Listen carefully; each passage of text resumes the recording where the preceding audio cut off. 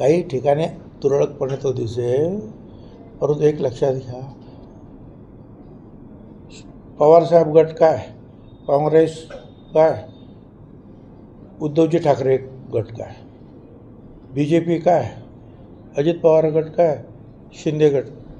किंवा जास्तीत जास्त सगळीकडे मराठाच उमेदवारच येत आहेत ना.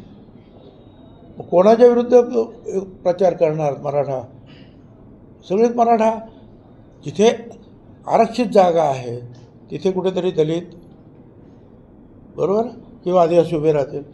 आणि दोन चार पाच ठिकाणी जे आहेत ओबीसी किंवा मुस्लिम समाजाचे असे काही लोक उभे राहतील. मग बाकीच्या ठिकाणी तर मराठा समाजाचेच राहतात.